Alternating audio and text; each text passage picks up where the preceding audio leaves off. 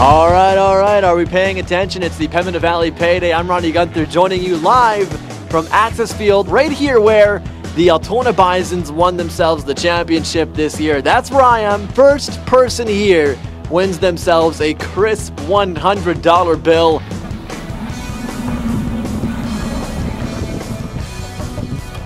Three winners today. They all came in one vehicle. Who are you guys? And my parents, And, Brad Parent. Valerie Delor. and what were you guys doing when you heard the announcement? Just cruising. Just cruising on your way to anywhere at all? Um, bargain shop in Altona. Oh yeah, what are you guys doing there? We were gonna go do some shopping, then we heard this, and we were like, well, let's just race here and see what happens. Well, if you guys are going shopping, well, a, little, a little extra money wouldn't help, eh? Oh, of course. We love money. So it's hundred dollars. You guys are gonna have to split it three ways. Is that the agreement here? Yes, that is the agreement. So what are you gonna do with your third of one hundred dollars? I have actually no idea what I'm gonna do with it yet. Gas money, probably. Cash money for you. What about you?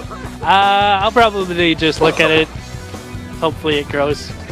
Hopefully it grows. You know. What about you? What are you gonna do with your hat? With your third? I'm gonna spend it probably on my babe, some baby clothes.